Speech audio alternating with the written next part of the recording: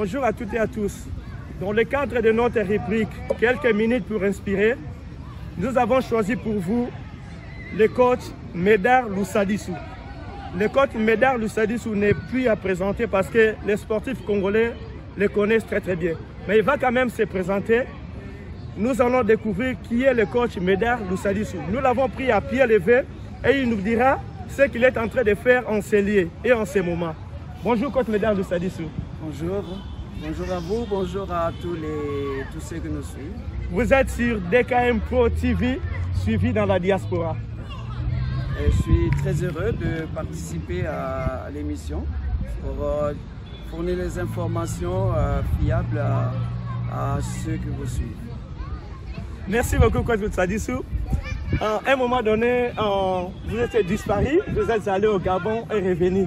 Quels sont les, les mobiles qui sont motivés de revenir ici en RDC ben, Je suis entraîneur de football. J'ai été au Gabon longtemps mhm, et pour, euh, et comme ambassadeur de notre euh, football euh, à l'extérieur. Mhm.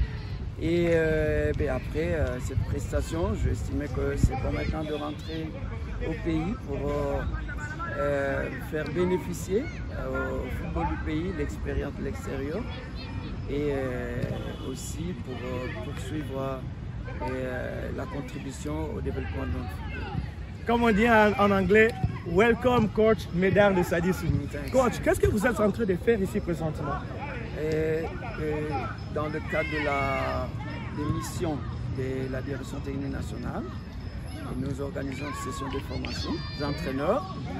Et euh, là, c'est euh, une formation des spécialistes en préparation physique. C'est euh, un domaine oublié, disons, qui a une, véritable carence. Et généralement, les préparateurs physiques ne sont pas connus. Mhm. On ne connaît pas leur fonction. Et souvent dans les équipes, ils sont considérés comme les moindres et des entraîneurs qui euh, aussi euh, n'ont pas besoin de, préparateurs physiques à leur côté. Donc c'est un domaine qui est laissé euh, à qui, veut le faire, alors qu'on ne peut pas être... Un préparateur physique n'est pas qui veut, mais qui peut. Parce que le préparateur physique, c'est celui qui est le support de l'entraîneur. Et c'est à travers lui qu'on peut rendre réellement compétitif et performant les joueurs. Parce que les jours du match, il faut que les joueurs soient capables de répondre aux exigences du match. C'est-à-dire courir régulièrement et sauter, et frapper sous le ballon, tirer, tout cela, gagner des duels. Tout ça, ça met l'organisme du joueur en exergue.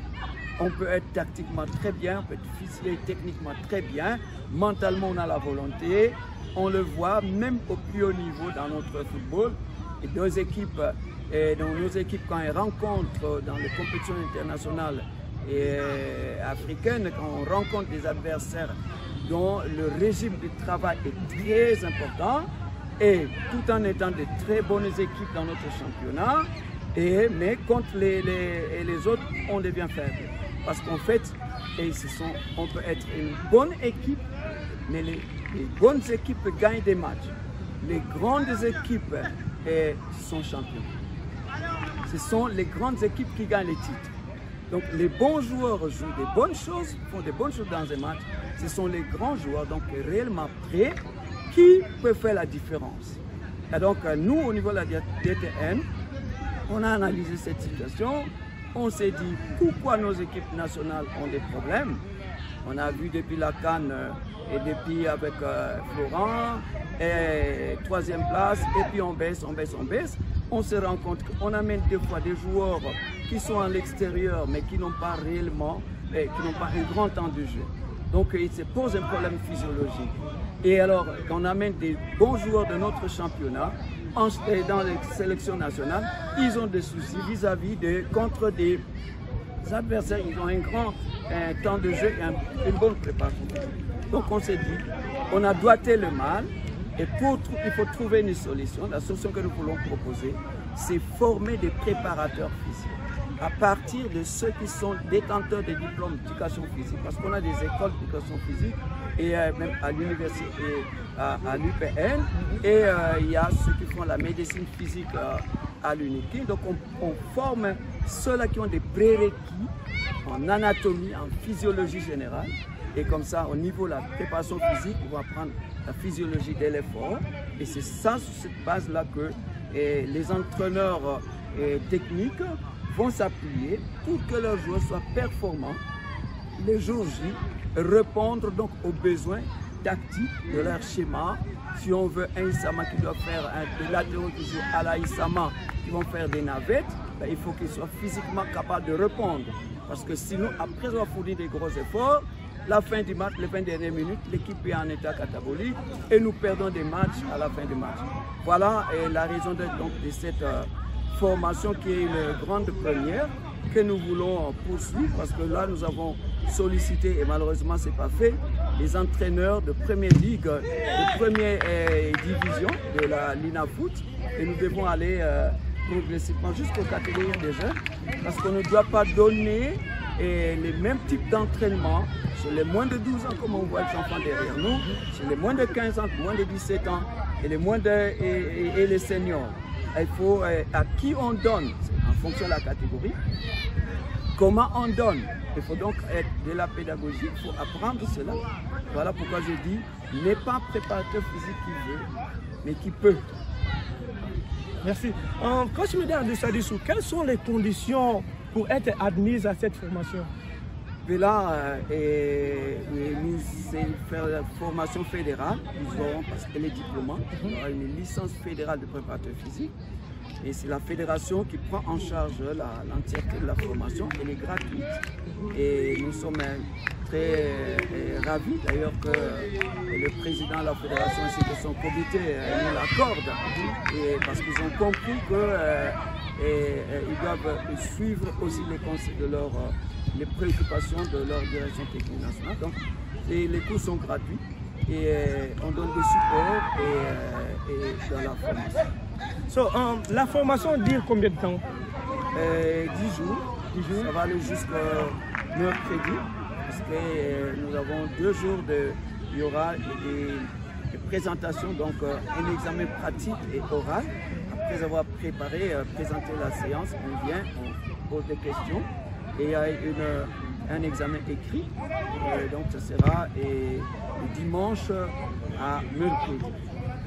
vous avez combien d'étudiants pour cette première édition? Vous avez dit que c'est la première édition Oui, oui, oui. on a 45. Et 45, euh, et on a limité aussi parce parce qu'ils doivent aller en salle de musculation. il ne faut pas qu'ils soient trop trop nombreux. On a refusé de, des candidats. C'est pour ça que je parle que c'est une première édition. Nous allons encore euh, poursuivre pour les autres parce que c'est très important qu'on forme le plus grand nombre de préparateurs physiques de notre football. Ça va aider euh, à relever les niveaux de compétitivité de nos joueurs. vous êtes dans un cadre privé. Ce n'est pas euh, le cadre de la Fédération congolaise de football ou de l'État congolais. Comment se fait-il que vous vous retrouvez ici dans un cadre privé? Oui. Et, la fédération a des partenaires. Et entre autres, toutes les structures de formation, comme à l'occurrence Oudjana, où nous venons, nous saluons d'ailleurs les, responsables, qui nous accordent le cadre tous les temps. Ce n'est pas la première fois. Donc on vient et euh, c'est sans protocole et puis on nous accorde les cadres et sans même euh, investir quoi que ce soit. Et donc euh, en, contrepartie, ils participent, leur, leur encadreurs participent dans nos formations.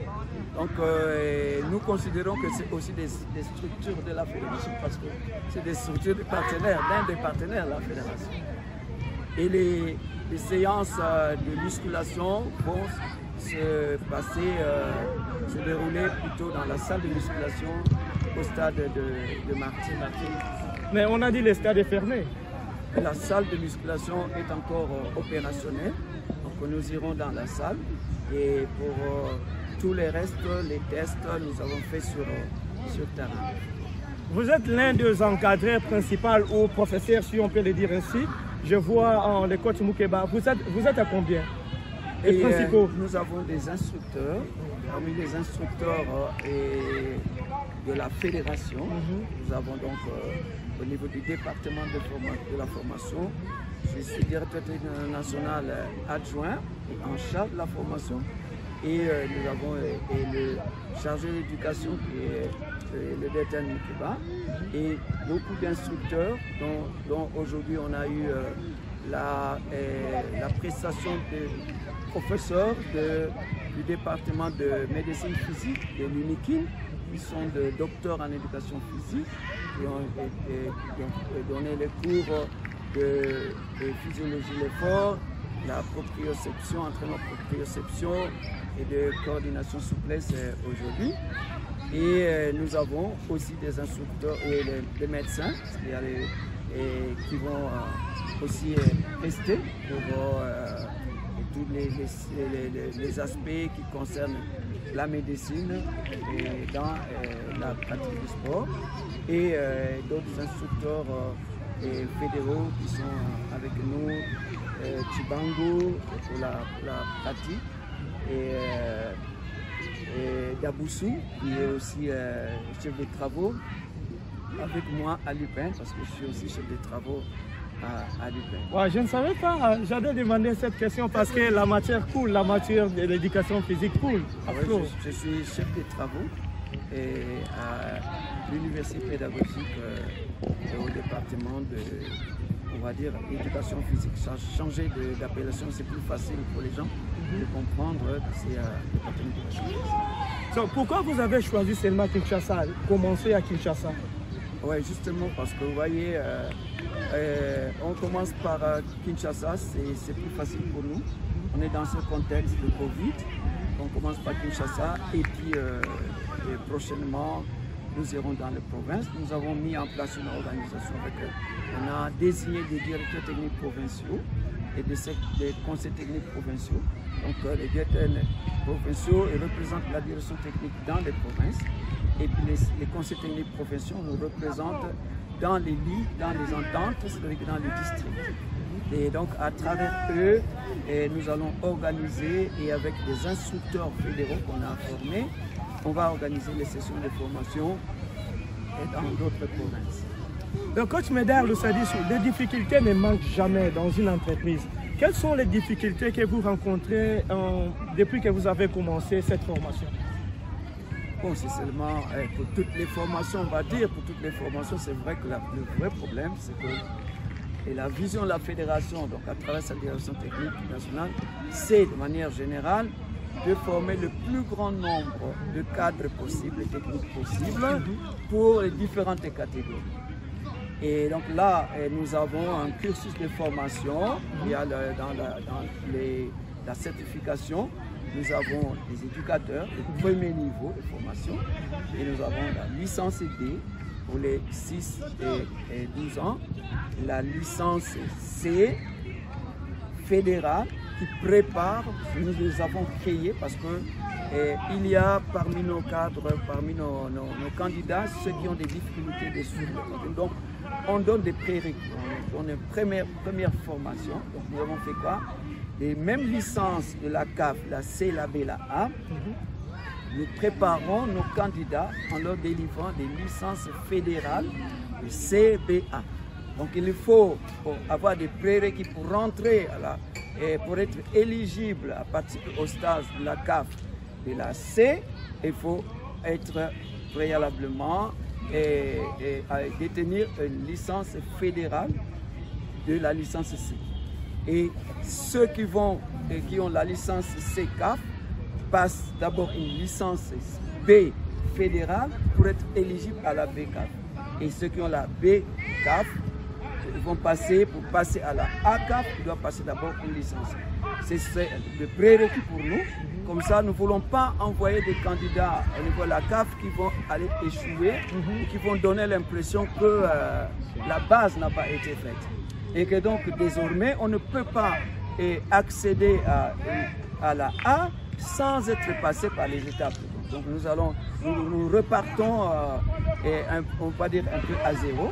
Donc tous ceux qui ont des diplômes avant, et deuxième degré et autres, on va les faire entrer dans la C fédérale. Et voilà. Et comme ça, on aura un plus grand nombre de cadres destinés pour toutes les catégories les moins de 12 ans, initiation, les moins de 15 ans, perfectionnement, les moins de 17 ans, les 19 ans, formation. Donc pré-formation moins de 15 ans, formation à partir de moins de 17 ans jusqu'à la sortie de, l'académie, donc 20 ans et, avant d'accéder au senior. Alors la difficulté justement c'est celle-là. Regardez notre pays continent. Comment faire qu'on puisse former des éducateurs dans toutes les provinces Et comment faire qu'on puisse former des entraîneurs dans toutes les disciplines Donc toutes les provinces ont les mêmes besoins. Alors, si nous disons, avant on fait, des formations de, 5 jours, 7 jours, on s'est rendu compte, compte tenu de l'auditoire, du niveau de ce qu'on reçoit, il faut aller au-delà de ces jours. Donc, nous disons, toutes les formations, le minimum, c'est 15 jours. Alors, si nous devons, et puis les autres, jusqu'à 21 jours. Mhm. Si nous devons aller 21 jours dans des provinces, combien de fois nous irons dans les provinces? Donc, en ce moment-là, on ne travaillera même pas dans le bureau. Hein, c'est ça la grande difficulté. Nous sommes en train de chercher à trouver une stratégie. On voudrait tenter, à travers les, DTP autres, de copier la, FIFA et la CAF en utilisant les multimédia. Nous voulons faire une première tentative de faire une formation, une formation en visioconférence pour le module théorique. Et le problème qui va se poser, c'est le module pratique. C'est pour ça qu'on a formé des instructeurs d'un formateur d'entraîneurs mais que ces formateurs euh, et, les directeurs techniques provinciaux, comme ça les DTP vont organiser la session de formation, ils pourront mettre, rassembler les candidats dans une salle et comme ça il y a quelqu'un qui va les suivre et nous, nous allons délivrer les matières à partir d'un endroit. Ça pourrait être à Kinshasa, ça peut être à n'importe quel endroit à Goma. Et de là, euh, on diffuse la matière pour le contenu théorique et nous allons voir avec les instructeurs que nous avons comment aller évaluer eh, sur le plan pratique. Donc ça, c'est la grosse, grosse difficulté. Et euh, c'est comment atteindre la plupart des cas des gens qui ont besoin d'informations pour que des, certains provinces ne disent pas « nous, nous sommes oubliés ». Voilà, mais, mais oh, c'est parce qu'on ne peut pas y aller. Et l'autre difficulté, c'est, je pense, et, euh, c'est euh, faire comprendre au, euh, euh, gouvernorat, à tous les niveaux, qu'ils doivent s'impliquer pour former les cadres. Vous voyez Parce que la fédération a beau avoir des bonnes intentions, mais vous voyez qu'il faut se déplacer, il y, a, tout cela pour prendre les matières et tout. Donc il faudrait aussi que les, les, provinces puissent s'impliquer. Parce que les cadres qu'on doit former, c'est des cadres pour la province. Parce que vous voyez, dans notre pays, on a, on a une loi, et la loi est, sportive, elle, elle fixe les normes de la pratique du sport mhm. en général, donc le football pour nous. Mais il faudrait qu'il y ait le projet sportif. Mhm. Et le projet sportif, c'est ça, c'est là qu'on va dire. Pour le football, qu'est-ce qu'on a besoin? Ah, Il faut former plusieurs entraîneurs parce qu'il manque de préparation. Là, vous parlez des réformes. Euh, non, mais c'est ce qui doit être fait, en fait, logiquement. Pour, parce que vous parlez de euh, la. c'est pour répondre à la problématique de comment faire pour qu'on forme le plus grand nombre de cadres. Donc il faut que cela, ça ne doit pas être seulement l'apanage de la fédération. Et, il faut aussi qu'au niveau donc, de, de, de l'État dans l'ensemble, on se dise, il nous faut former des cadres. Il y a combien de préparateurs physiques dans d'autres disciplines? Nous sommes en train de, voir comment organiser la même session avec le comité national olympique pour toutes les disciplines. Vous irez en boxe, il y a combien de préparateurs physiques? En handball, combien de préparateurs physiques Parce que c'est des spécificités. Il y, a, il y a des matières générales et puis il y a des spécificités. Le travail de, de, force qu'on ferait chez les footballeurs, on ne le présenterait pas chez les judokas. Mhm. Donc chez les judokas, peut-être on va faire une force maximale, chez les footballeurs, force explosive. Mais, ça, il faut qu'on sache. Et voilà. Et, quand on travaille et ceux qui beaucoup de force, vous allez voir dans un dojo où on fait faire les mêmes exercices dans le même groupe et les enfants de, de, de 12 ans et les enfants de 15 ans et les seniors. Ils font la même chose. Mais il y a des incidences sur le plan corporel, organique et tout ça. Mais ça, il faut qu'il y ait, que les gens puissent connaître. Donc ça, par exemple, ça doit être la préoccupation de l'État. Nous voulons développer notre, notre sport nous voulons euh, réaliser des performances au haut niveau. Et comment faire pour réaliser des performances et au haut niveau? Et Il faut que les- nos athlètes soient prêts, soient au top les jours J, soient performants les jours J. Qui sont à même de pouvoir euh, le faire? Les préparateurs physiques. Et quand les préparateurs physiques soient associés à- aux entraîneurs pour la partie technique et tactique. Voilà, par exemple. Donc, euh, et euh, ça, ce sont, le, je crois, le, le clou hein, des problèmes, que tout le monde s'investisse. Les dirigeants des clubs ils acceptent qu'il faut des préparateurs physiques, qu'on ne donne pas à monsieur tout le monde, parce que c'est du domaine de la science. Il faut connaître l'anatomie, il faut connaître la physiologie de l'effort. Tous ces aspects-là, ce n'est pas monsieur tout le monde qui doit les connaître. Là, c'est coach Loussadi Soumeda. C'est une vraie bibliothèque de notre nation. Il ne parle pas en tant que coach, il parle en tant que professeur de l'université maintenant. Parce que la matière continue de couler. Coach Loussadissou, est-ce que euh, vous collaborez avec d'autres fédérations africaines ou du monde? Au niveau de la CAF, euh, oui, la direction technique nationale et, euh, collabore avec les différentes associations membres euh, à travers les réunions bilatérales qu'on a régulièrement, qui sont organisées par la FIFA et la CAF. Et nous avons personnellement des contacts avec plusieurs euh, entraîneurs. J'ai été, euh, j'ai fait euh, six cannes, dont cinq cannes euh, avec les garçons Wow. et une canne avec les filles. Sauf le mondial. oui. Sauf le mondial.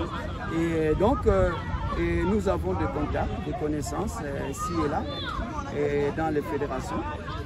Des collègues avec lesquels on a été en Allemagne, la formation d'en- d'entraîneur à la licence A, et qui sont aussi devenus des dir- directeurs nationaux. Donc, euh, nous sommes euh, constamment en contact avec, euh, avec l'extérieur. Et aujourd'hui, si tu t'arrêtes dans ton bureau, tu ne peux pas tu ne peux pas vivre la réalité.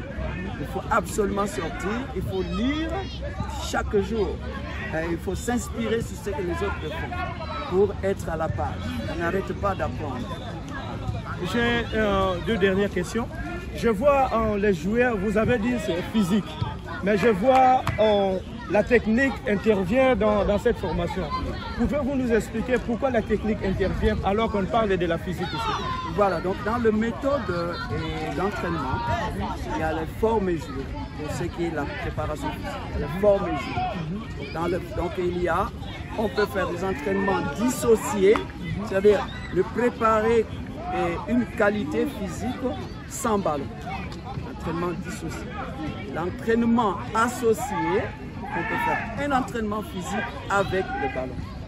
Et puis là, nous sommes en train de, Detel Moukebe est en train de présenter un entraînement intégré. Voilà, donc, il travaille ici une qualité physique, l'endurance, puissance avec ballon. Donc, on, on développe une qualité physique qui est l'endurance, puissance, endurance, puissance, mais en utilisant le ballon. Pourquoi? Parce que eh, euh, eh, c'est en présentant, en, intégrant le ballon dans l'entraînement, pour les joueurs, les joueurs, ils- lorsqu'ils viennent sur le terrain, ils viennent pour jouer au ballon. Donc lorsqu'ils voient le ballon, ils ne sentent pas et, euh, la, la- la même douleur que s'il n'y avait pas le ballon. C'est pour ça qu'on associe les deux, mais en sachant que pour mieux évaluer euh, l'intensité du travail, l'utilisation du ballon donne des probabilités d'erreur par rapport à une séance où il n'y a pas de ballon. C'est pour ça que le préparateur physique apprend à faire le travail sans ballon et avec ballon. Le même travail, il peut faire. Il enlève le ballon, il fait le travail. Et il peut ajouter le ballon pour être proche du jeu.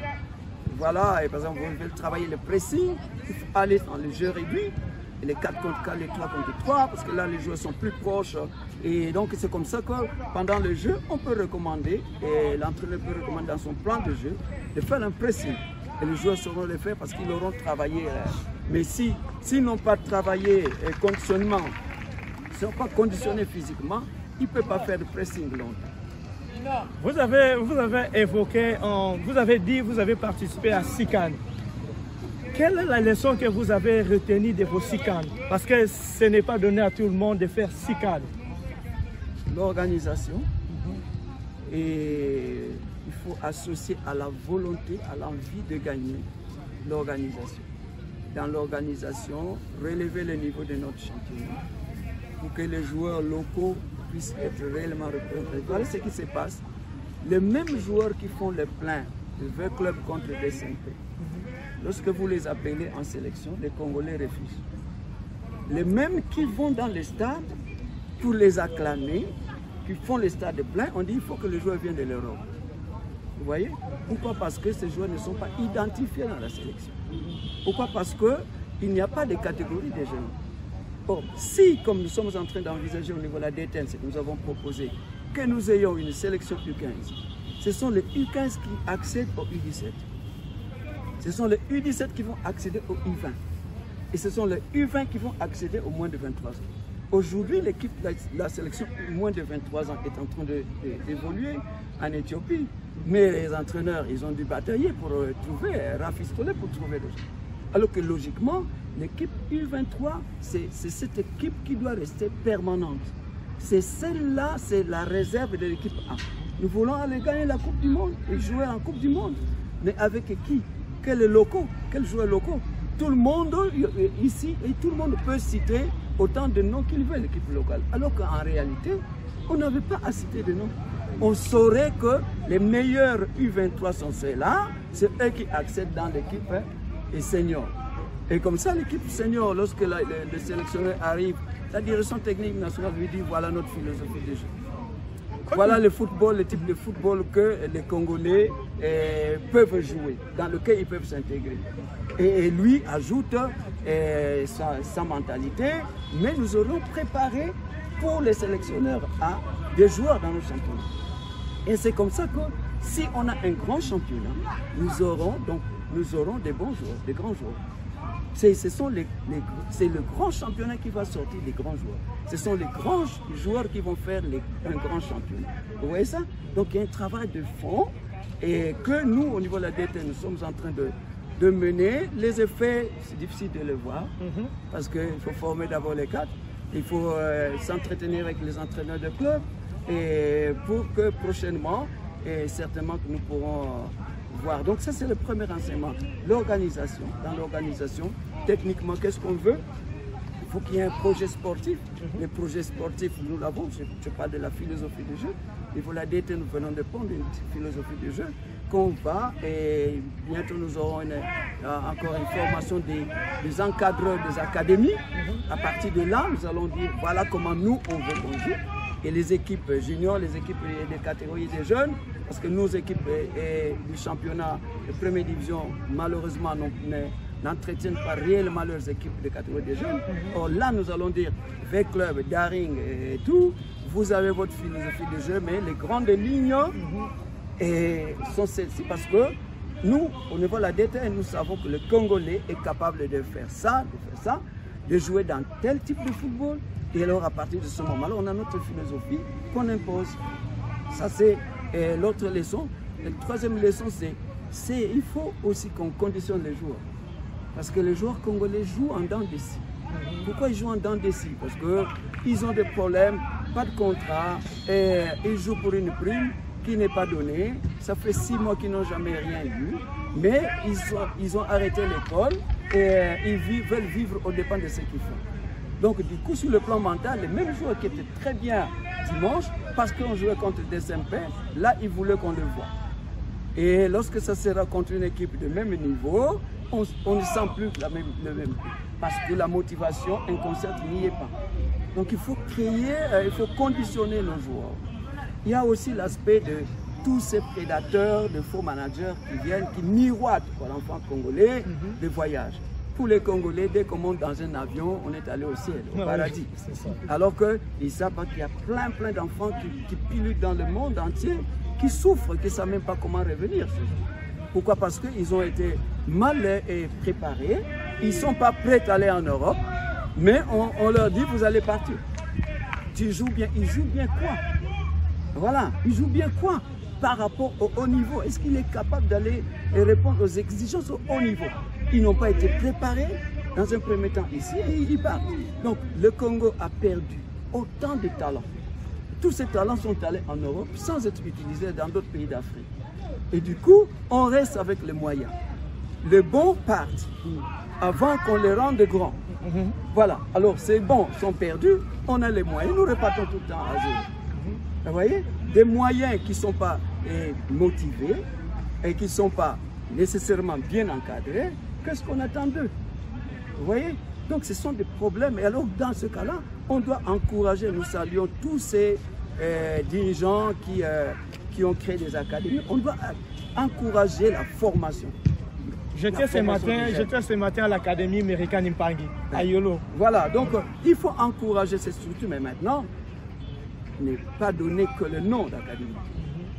C'est des structures. Au niveau de la DTN, nous avons euh, un, contenu, disons un, fichier, et que les ceux qui ont créé des académies doivent remplir. Parce qu'il faut un minimum de conditions. Il faut qu'on fasse la séparation entre école de football, apprentissage de football. Académie, on forme pour le haut niveau pour un club. Vous voyez ça? Donc il faut qu'on sache qu'est-ce que euh, c'est lui qui a créé la structure On ne doit pas créer les structures pour vendre. On doit créer les, structures pour former les joueurs, les talents et avoir un suivi. Et, et puis la conséquence, l'incident de fait avoir et bien former les jeunes talents, les gens vont venir les voir. Mais si on, crée des structures pour vendre, on passe à côté. Et c'est là, donc on, ne réunit pas le minimum de conditions qu'il faut pour créer l'académie. et puis alors, euh, nous sommes dans la situation qu'on connaît. une dernière question au professeur Médard Losadissou, c'est un professeur d'université. coach euh, Médard Losadissou, vous êtes en train de partir. Je ne dis pas que vous allez mourir demain. Vous êtes en train de partir parce que vous avez pris de l'âge et vous continuez à prendre de l'âge. Vous serez fatigué. Est-ce que vous avez des successeurs lorsque vous allez vous reposer et dire Waouh, moi, le Médard Loussadissou, j'ai formé. Il y a des gens qui vont valablement me représenter parce que vous êtes une grande bibliothèque pour notre pays. C'est pour ça que nous avons formé euh, des instructeurs pour ne pas être seuls on a une session de formation dernière, c'était 28. On a formé en deux modules. Et donc là, là déjà ceux qu'on associe avec notre groupe de formation, nous sommes en train de tester, de les, pousser. Donc euh, vous avez la réponse. Et en formant les instructeurs et en, organisant autant de sessions de formation d'entraîneurs, c'est que nous ne voulons plus être seuls. Nous voulons qu'il y ait d'autres entraîneurs. Et c'est pour ça que nous, avons libérer le terrain pour euh, venir maintenant s'occuper des autres qui, nous remplacent pour leur formation. Et euh, effectivement, personne n'est indispensable. Donc, euh, nous en sommes conscients. C'est pour ça que nous faisons, nous travaillons de la manière dont, on nous le fait. chers amis de quelques minutes pour inspirer, nous étions avec les coachs, les directeurs techniques nationaux Médard Loussadis, adjoint. Ah oui, Il est, très, très humble, adjoint. qui est le directeur technique national. Ok, merci pour la correction. Nous l'avons pris à pied levé. Il a répondu volontiers. Il nous a dit, ok, je vais passer l'interview avec vous. Coach Médard Loussadissou, un mot de la fin. Ce n'est pas la fin, mais pour notre, notre quelques minutes pour inspirer. Un mot de la fin. Bon, je suis euh, ravi parce que vous êtes venu à la source pour euh, tirer les, informations fiables, c'est très important. Et vous savez, des fois, le comportement des gens dans les, tribunes ou euh, quand ils discutent, c'est parce qu'ils sont ignorants. Des fois, les gens ne savent pas qu'est-ce que la direction technique nationale fait. Et, c'est quoi un directeur technique, c'est qu'est-ce que la fédération fait? Donc, euh, c'était très bien. Je pense que là, on a l'occasion de faire comprendre aux gens qu'il y a une structure qui mène des études, des recherches, qui tente de trouver les voies et moyens de sortir notre football là, où il se trouve. Les, les conséquences, disons, euh, les effets peut-être ne sont pas palpables maintenant. On a bien sûr vu euh, un niveau euh, équilibré du championnat à l'Ina Foot. Et ce n'est pas encore ça qu'on veut. Il faut relever encore les niveaux de compétitivité. Mais, mais en tout cas, nous pensons qu'en travaillant comme ça, nous allons euh, aller loin. Donc nous sommes, nous sommes très reconnaissants pour avoir permis euh, cette occasion, ça devient une opportunité d'ailleurs, parce que finalement, ce n'est plus quelques minutes, c'était finalement long. Peut-être que j'étais euh, assez long aussi, mais c'est bien la, pour la pertinence des questions. Et qui, Parce qu'on ne saisit pas des fois des, des, réponses ou les choses techniques, c'est difficile à comprendre. Vous étiez là pour nous expliquer tout ce qui se passe en Célier. Donc je salue euh, tout le monde euh, qui nous suit et continue à être avec nous. Nous sommes à, la disposition de, des médias, de tous ceux qui, qui veulent euh, enrichir euh, la compréhension dans certains domaines et qui, qui fâchent. Merci. Voilà, c'était là quelques minutes pour inspirer avec les professeurs, le directeur technique adjoint national, le coach Meda Doussadissou. See you soon pour une autre rubrique. Quelques minutes pour inspirer. Bye bye.